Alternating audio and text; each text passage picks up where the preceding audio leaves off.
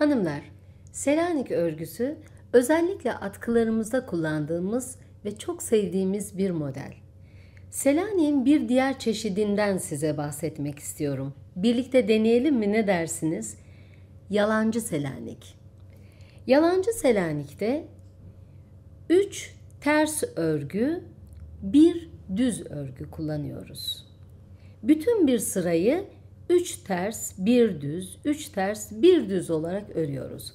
Şimdi birlikte bir uygulayalım. Bakın. 1 2 3 ters örgüyü ördüm.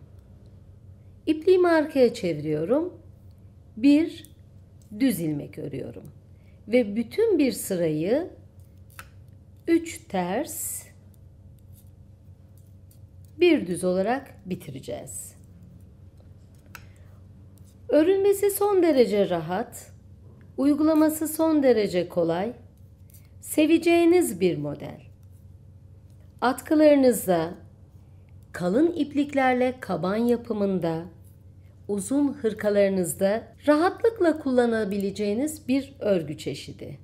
Bakın, 3 ters örüyorum.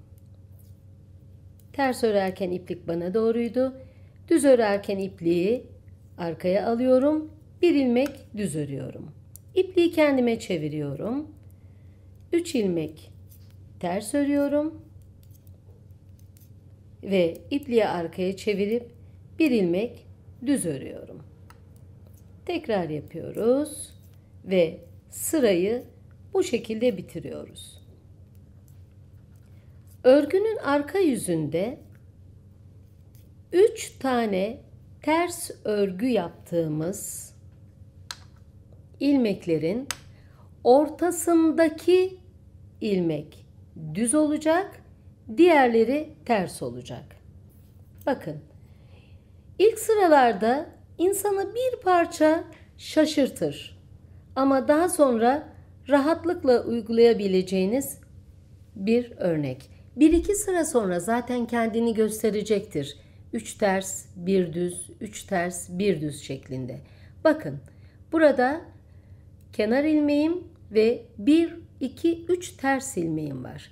Demek ki ortadaki ilmeği düz öreceğim. Diğer ilmekler ters olacak.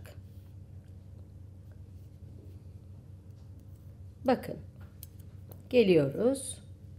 1 2 3 tane yaptım. Tekrar düz yaptım.